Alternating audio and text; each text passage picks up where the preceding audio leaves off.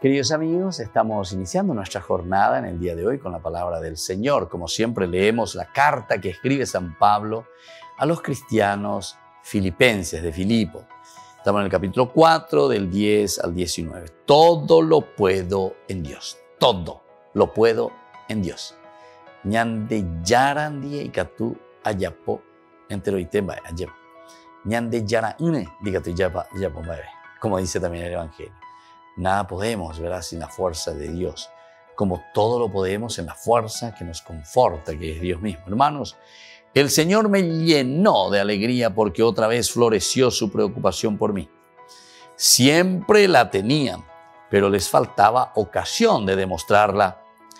No lo digo por estar necesitado, porque he aprendido a bastarme con lo que tengo.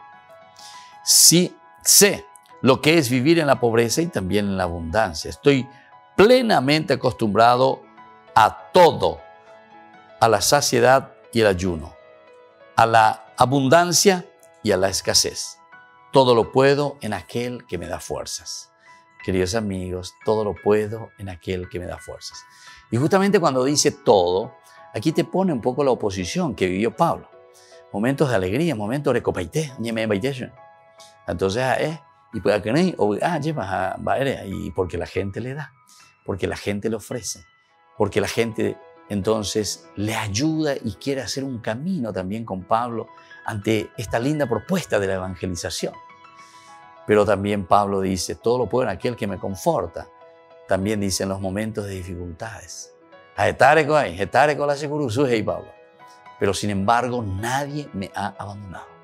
Y el número uno, el number one, el que verdaderamente no me ha abandonado, y por eso es que yo puedo verdaderamente, es fortalecerme en Dios, fortalecerme en Cristo.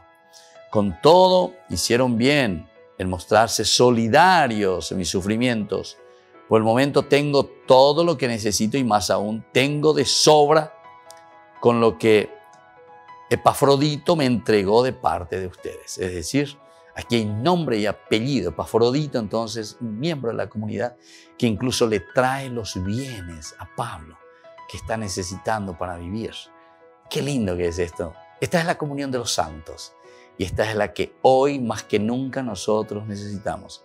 Nosotros podemos decir, esta es la responsabilidad social dentro de nuestras empresas, dentro de nuestra sociedad actualmente. Que la bendición de Dios descienda sobre todos ustedes, el Padre y el Hijo y el Espíritu Santo. Amén.